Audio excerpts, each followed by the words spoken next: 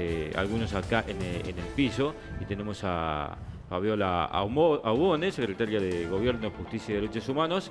Eh, también tenemos acá en el piso a Dardo Gómez, eh, que pertenece al Ejército, y Daniel Pacheco, pertenecientes a la Fuerza Aérea Argentina. ¿Cómo les va? Buenas noches. Buenas noches. Buenas noches. Bueno, ¿cómo, ¿cómo, ha sido todo esto, Fabiola? ha sido, me imagino, una experiencia eh, increíble, eh, realmente inolvidable para, todos ustedes, ¿no? Definitivamente para mí, que tuve el privilegio de acompañar a un grupo de excombatientes sanjuaninos y dos familiares, ha sido inolvidable, esa es la palabra. Eh, y súper productiva porque en todos lados donde he tenido oportunidad de remarcarlo lo he dicho, no solo por lo que conocí de nuestra historia, conocí el valor que tiene lo que ellos hicieron y lo que dieron por nuestra patria, lo conocí en primera persona, que son los testigos y los protagonistas de esto, y encima un grupo humano excelente que se conformó en este, este cuarto viaje, que verdaderamente hemos podido compartir un montón de cosas fuera de lo que estaba previsto, así que aparte de quedarnos un día más, eh, y la verdad que no pesarle a ninguno. Bueno, eh, me imagino si ha sido especial para, para usted, lo que debe haber sido para ustedes que estuvieron allí eh, fueron protagonistas eh, de, esa guerra, precisamente, ¿no? que estuvieron combatiendo, defendiendo nuestra patria. ¿no? por supuesto, para mí fue volver 37 años atrás, ¿no es cierto? Y como para todos, creo que así en su totalidad, los que fuimos para allá, los 13 que fuimos, este, fue volver 37 años para atrás y, muy agradecido, muy agradecido al gobierno. ¿Qué, encontraron allá cuando, cuando fueron? Este, ¿Se encontraron con lo que pensaban que iba a haber? ¿Hubo algo que cambió? Eh, ¿Cosas nuevas, sorpresas? Mira, en el caso especial mío, yo no conocía Malvina. Yo los sobrevuelos que hice con Fuerza Aérea con dos aviones Morán Sunier, que hacíamos reconocimiento, hacíamos táctica sobre mar y buscando objetivos. Entonces, realmente para mí, en el caso particular, te imaginas que era una expectativa total, solo comentarios, revistas, documentales y lo que hemos charlado con mis compañeros en los largos de estos años de lo que fue la guerra.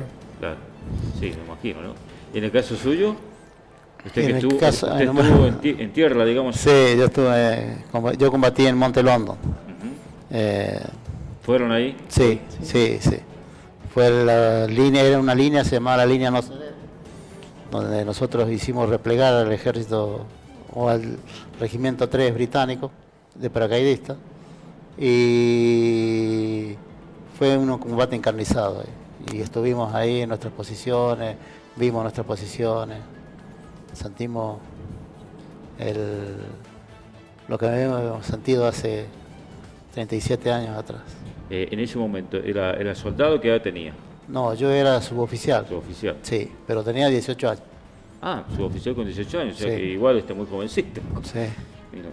Este, y, combatieron, hicieron retroceder entonces al, enemigo. Claro, ellos nos hacen, no, ellos empezó el día 13, cuando un, un soldado inglés hizo una mina antipersonal, y ahí nos damos cuenta que ellos venían avanzando, y se desata el tiroteo, eh, nosotros con una, con una ametralladora 12-7 que era una ametralladora de alto poder de fuego, eh, que nos, había, nos habían dado esa ametralladora, nos había, se había ordenado que esa ametralladora fuera al regimiento, al regimiento 7, yo pertenecía al regimiento 8, pero yo también agregado al regimiento 7 esa ametralladora pertenecía al Batallón de Infantería de Marina 5 este, y nos hicieron retroceder como 50, 60 metros.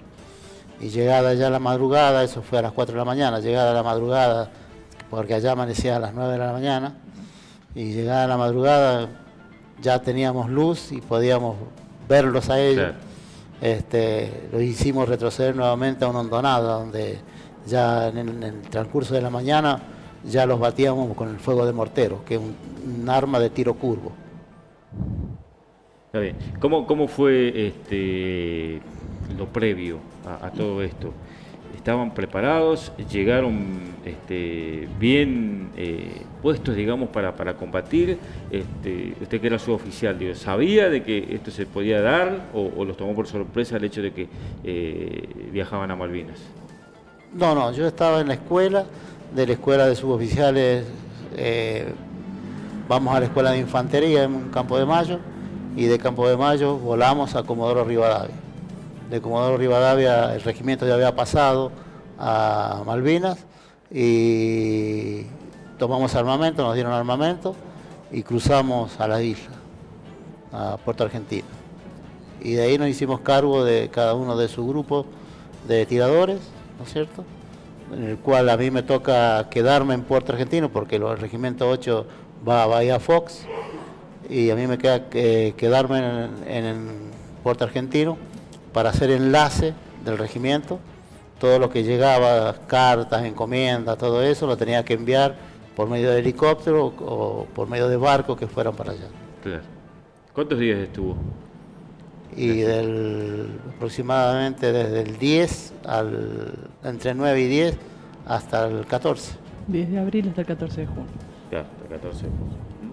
Eh, y, cómo fue todo ese, ese, ese tiempo? ¿Ustedes ¿Volvieron, vieron el, lugar cuando, cuando estuvieron ahora a la vuelta? Sí, sí, sí, volvimos al aeropuerto donde recibíamos las cosas y también volvimos a las posiciones que teníamos.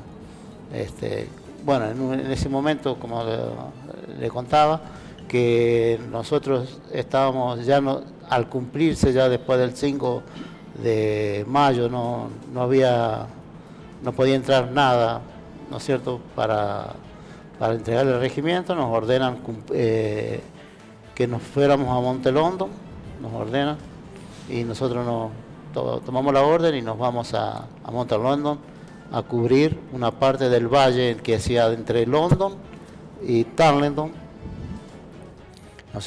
donde era un corredor aéreo ahí. Había un corredor aéreo que los ingleses habían hecho para bombardear las posiciones. Entonces, bueno, eso estuvimos haciendo posiciones, preparando las posiciones de combate y todo el tiempo o patrullábamos o hacíamos posiciones, las posiciones nuestras. ¿Y, cómo fue ese, momento de, volver a estar ahí? ¿Qué, sensaciones, qué, sentimientos, qué experimentaron ahí eh, después de tantos años? Y te podés imaginar que los sentimientos son sentimientos encontrados, ya ¿cómo te puedo explicar? Eh, te vuelve a la memoria todo, todo lo que pasaste, todo lo que hiciste. Ver de nuevo la, película. exactamente, es ver de nuevo la película. Es ver de nuevo la película y sentarte en una piedra y decir, bueno, yo regresé, hay mucha gente que no regresó. bueno. Hubo muchos caídos, compañeros suyos. Sí, sí, nosotros fuimos 79 y y entre esos 79 se quedaron 13 hombres allá. 13 de 70. Sí.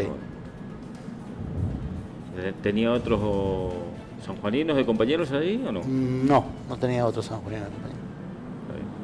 En el, en el caso suyo, bueno, eh, le, tocó la, la, Fuerza Aérea tener una, una muy destacada actuación también, ¿no? Claro, la, la, actuación que tuvo la Fuerza Aérea realmente fueron con aviones de combate que salían, que estaban directamente en Río Gallego una parte, otra parte estaba en San Julián, entonces de ahí hacían el, teatro de operaciones. San Julián atacaban, hacían combustible con los Hércules y volvían a su posición. Toda la gente que trabajó realmente fue en la costa, digamos, siempre trabajando con los aviones y largando los aviones. Nosotros, bueno, la función nuestra era de Mar del Plata traer a los estados. Hay días que hacíamos noche Mar del Plata, otro día hacíamos Entreleu, hacíamos combustible en Trelew, hacíamos combustible en Río Grande, pero siempre nosotros teníamos que dar la novedad de, los buques o alguien que estuviera fuera de las normas o de las millas que se establecía, fuera de, la bahía. Entonces, nosotros siempre estuvimos en contacto y escuchamos por radio realmente lo que estaban pasando en las tropas, el ataque acá y realmente ahora vivirlo allá realmente uno se le pone la piel de gallina, realmente lo que han vivido ellos, los soldados nuestros, el frío. Ahí estamos viendo las, imágenes, lo que ha sido la visita del grupo a las islas, ¿no? Ah, acá la estoy viendo. Eh, realmente eso es muy impactante. Es una cosa que lo cuento, otra cosa que yo lo he vivido y, lo verle la cara a ellos que han estado ahí en ese pozo de zorro, que han vivido, han convivido. Realmente uno decir, yo este, al final con los aviones estuve en la gloria. Realmente los que son veteranos son los que tuvieron cuerpo a cuerpo, realmente. Nosotros por la ley, por las cosas, nos consideran veteranos de guerra, somos del TOA y del TOAS, porque nos consideran los paralelos y las millas que hemos morado y las misiones que quedaron establecidas. Por eso somos veteranos de guerra. Y la Fuerza Aérea, bueno, cada uno en su puesto. Algunos fueron, atacaron, otros estuvieron en tierra y otros estuvimos volando y, dando las posiciones de las fuerzas enemigas. ¿Y qué edad tenía en ese momento? Yo tenía 23 años, próximo a cumplir 24. ¿Y qué grado? Y en ese momento era CAO primero. Yo lo que pasa es que era CAO primero y hice, volaba como inspector de vuelo, o sea que yo hacía vuelos de pilotaje, me instruyeron como piloto también para hacer vuelos de prueba, porque volamos un piloto y un suboficial que era inspector de vuelo. Con 33 aviones que teníamos en la cuarta brigada, volamos dos inspectores, los cuales perdió, uno la vida, pero en un accidente en Mendoza y quedé yo y después vino otro más y así sucesivamente. Entonces realmente yo manejaba todo lo que es la parte de armamento del avión y el piloto se iba a encargar del tema de tiro. Y a veces también lo ayudaba a navegar y a volar. Después me hice el curso de piloto civil acá en el Aeroclub de San Juan y realmente le estoy muy agradecido a la Fuerza Aérea. Eh, realmente también he quedado un poco choqueado con todo esto. A mí me afectó un montón haber ido a Malvinas porque realmente conocer algo así, y yo cierro los ojos y hay gente que a lo mejor se va a quedar con las ganas de conocer Malvinas. Realmente. Eh, lo que hemos vivido, eh, los tratos que hemos tenido, las vivencias que ellos han tenido, eso es lo que más a uno lo mueve la, la que han pasado los chicos realmente, sean suboficiales, oficiales, soldados, personal civil. Entonces hay que valorar eso. Y también le agradezco mucho al gobierno de la provincia de San Juan, que este es el cuarto viaje que hace. Y realmente lo hacen con todo amor y le dan difusión y realmente al veterano no lo dejan de lado. Y eso, estamos muy agradecidos los veteranos que San Juan, los gobiernos, el gobierno que está ahora de turno, no nos dejó de lado. Y no, los, de, los que estuvieron anteriormente tampoco nos dejaron de lado pero siempre nos apoyan, siempre nos, nos dirigen y realmente nos mandan la mejor onda. Pero te puedo asegurar que los 13 veteranos que hemos venido, todos venimos con un, con un qué sé yo, viste, de allá. seguro. ¿Y ese reconocimiento es también a nivel nacional? ¿Lo sienten así ustedes? Sí, a nivel nacional. Nosotros estamos a nivel nacional y a nivel provincial estamos reconocidos como veteranos. Eh, pudo, eh, eligió ir en este momento, eh, tuvo la oportunidad de hacerlo en otros viajes o no.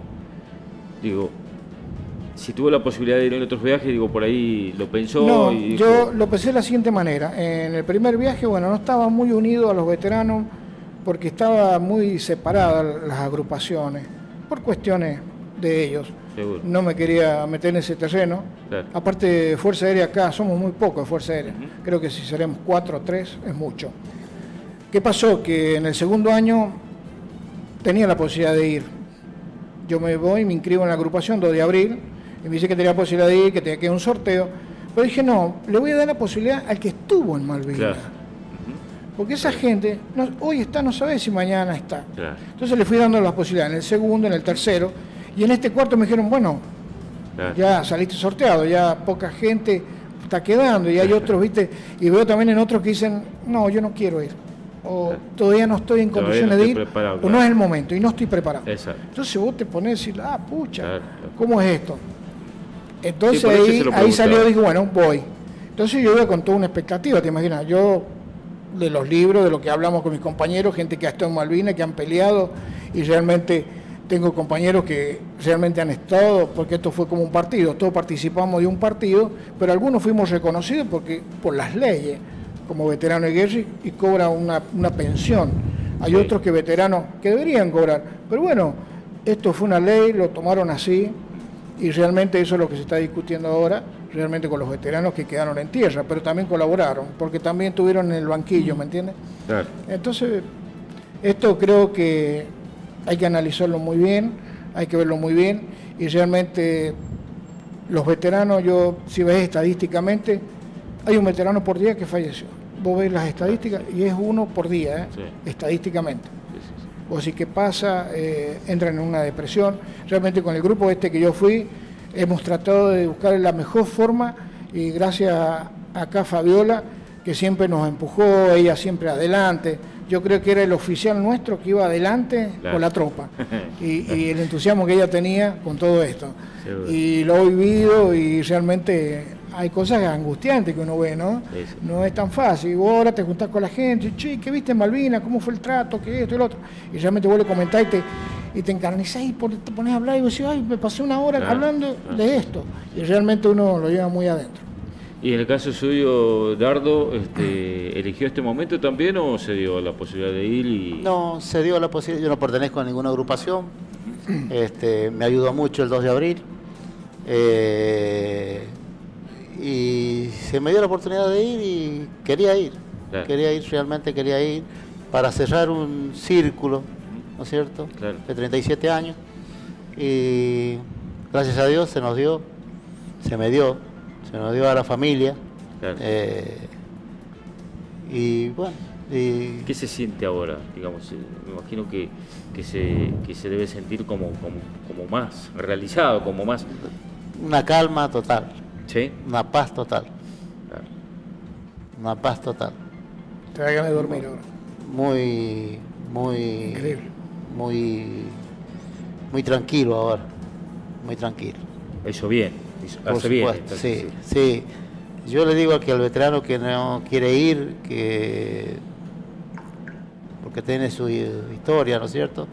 Este, que vaya, que hace bien. Eso lo va a hacer.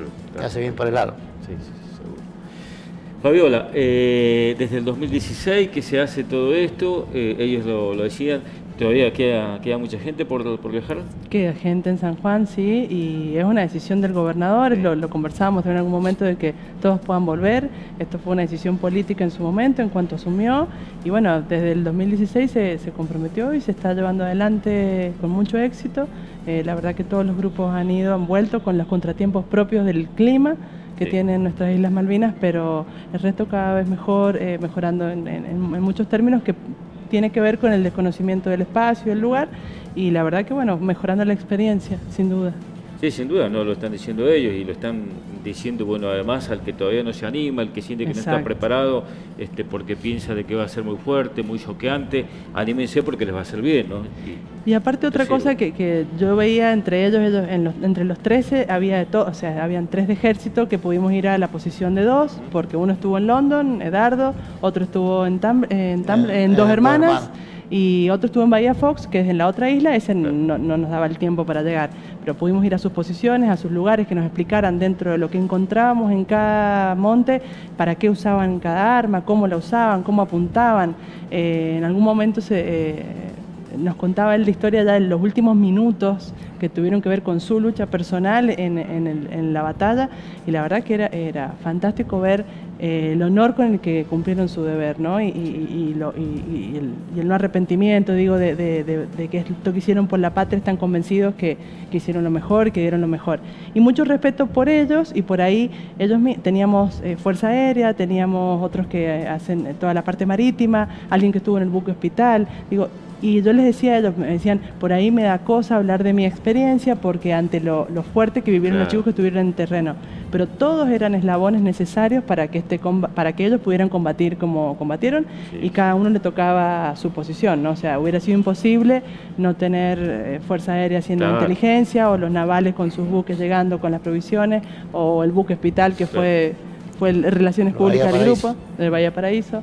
Y digo, bueno, y, todo lo que nos... Lo, también teníamos un comando anfibio que fue uno de los, los, que primero hacían los desembarcos para conocer el terreno antes de que los buques llegaran. Digo, de todo un poco bien heterogéneo como para entender también la complejidad de lo que sea en el combate.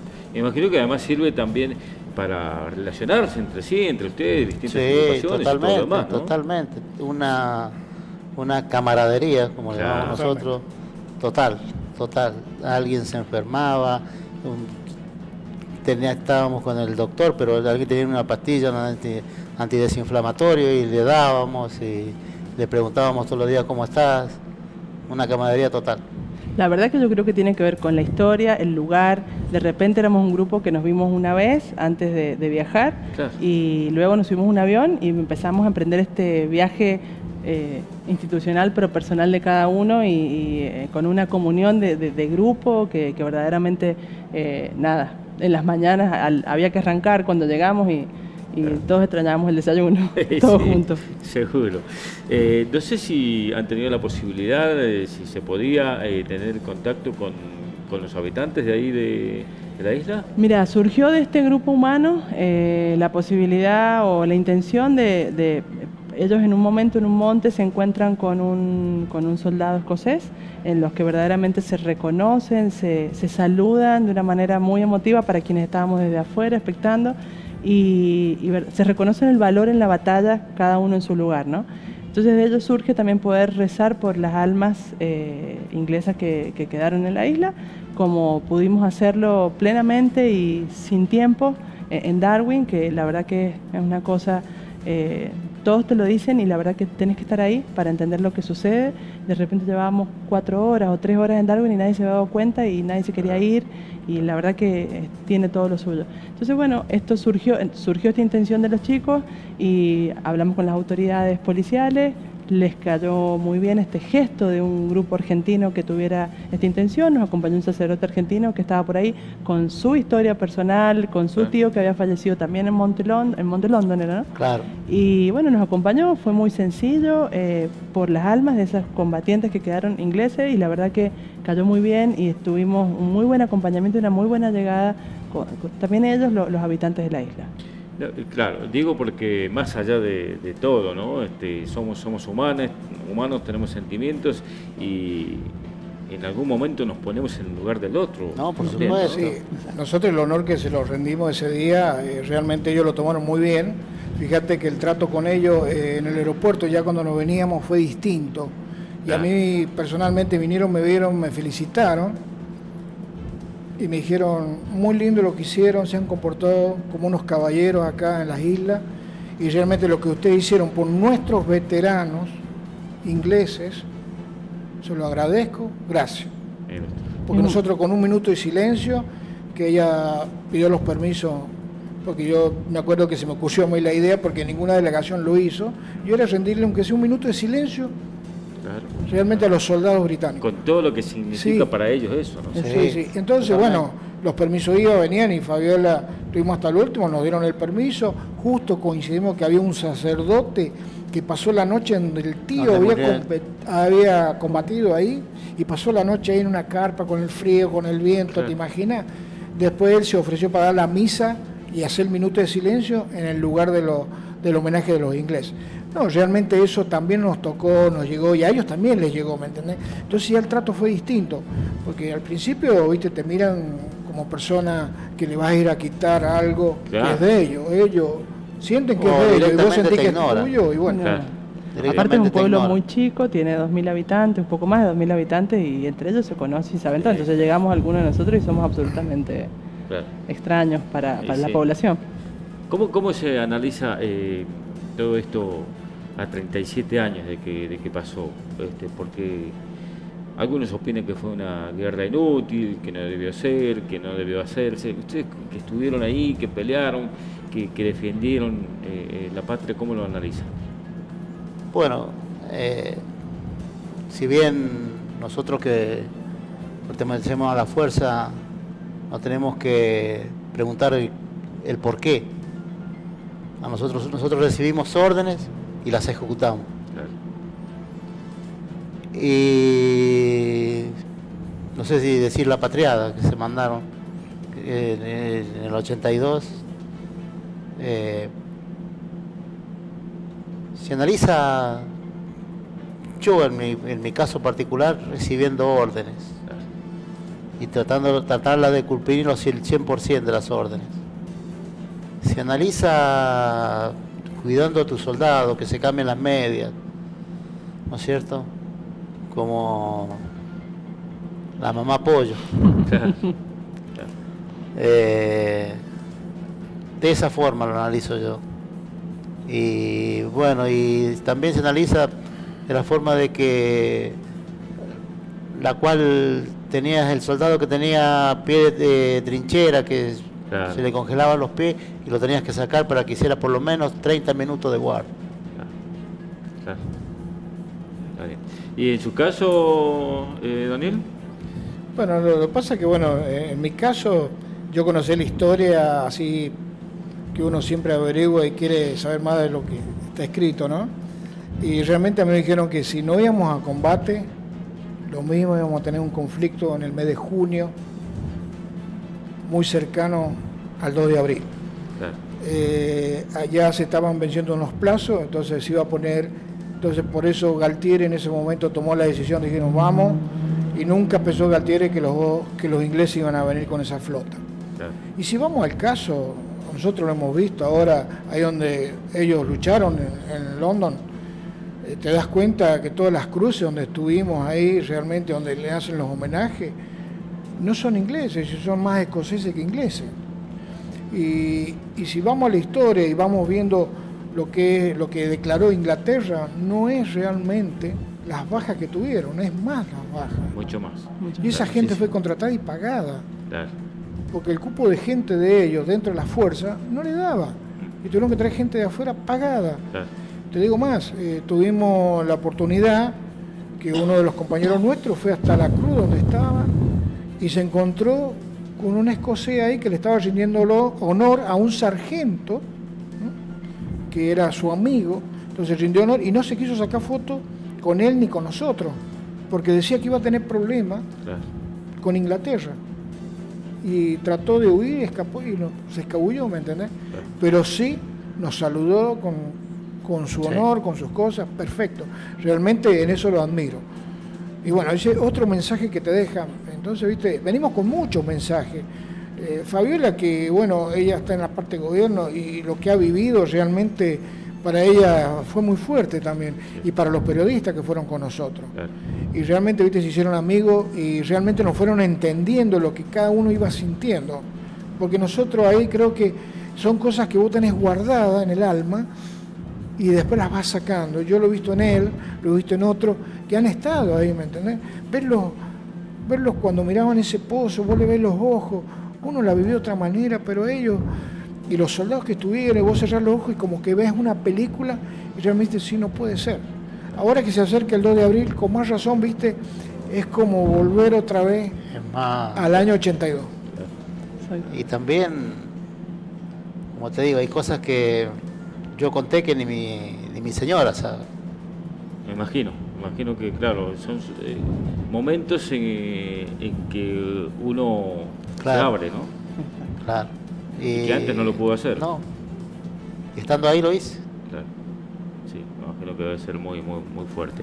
Eh, Fabiola, ¿cómo se, se ve, se analiza, eh, por ejemplo, hoy la situación actual este, con esto del vuelo este, de Brasil, Córdoba, las Islas Malvinas, eh, esto eh, en el, plano diplomático, ¿no?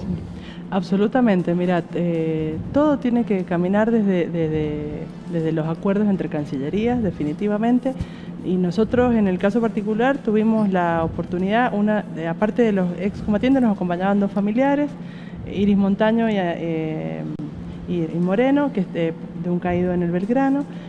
A ver, eh, y ellas eh, están trabajando en un monumento que se va a inaugurar ahora en la legislatura de la provincia y también preguntamos cómo podíamos hacer para eh, traer algo que pudiera ser traído de Malvinas para ponerlo en este monumento. Nos explicaron si no era por Cancillería era un conflicto, entonces bueno, no se trajo nada por supuesto y, y se armará con lo que hay.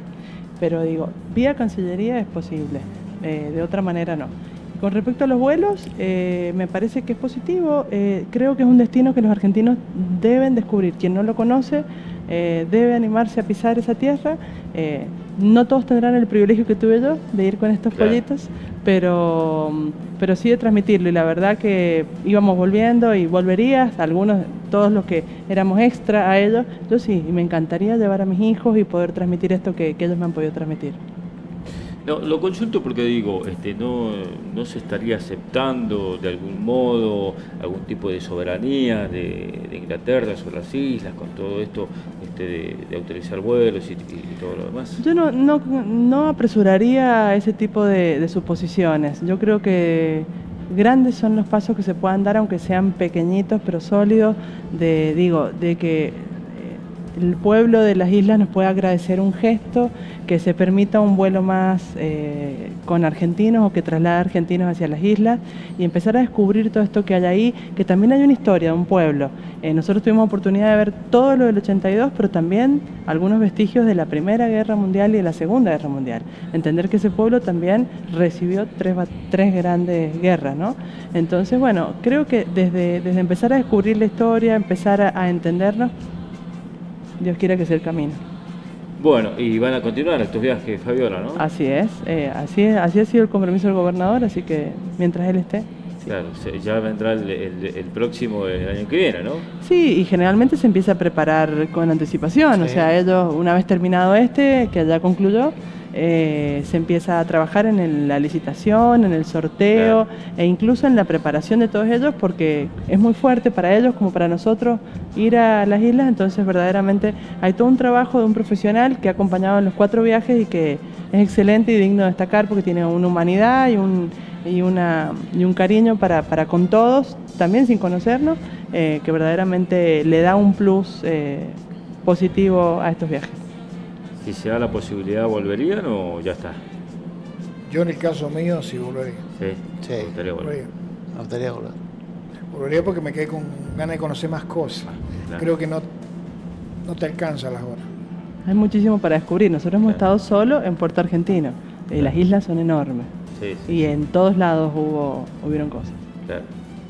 Bueno, ojalá que, que, puedan hacerlo entonces, porque además si, si hace bien, este, hay que repetirlo, ¿no? Sí, yo creo que hay que seguir haciéndolo. Lo que pasa es que también hay mucho, por ejemplo, en la Fuerza Aérea tenemos gente que, bueno, a lo mejor tengo mis compañeros que yo están en Mendoza y van, vienen a San Juan, pero bueno, tienen que cumplir unos ciertos requisitos de estar cinco años, el certificado que tendrá directamente el Congreso de la Nación, junto con, con el de Defensa, el Ministerio de Defensa, los certificados como que soy veterano realmente hay tantos los antecedentes nuestros.